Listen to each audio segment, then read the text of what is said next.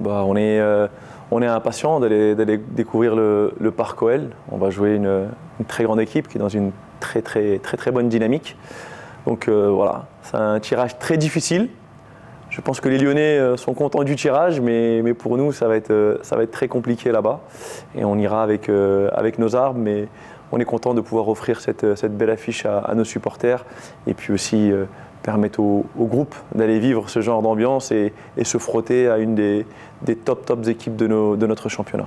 On aurait aimé offrir une demi-finale à, nos supporters euh, au stade du Hainaut, mais euh, on se déplacera à Lyon face à une grosse écurie de Ligue 1.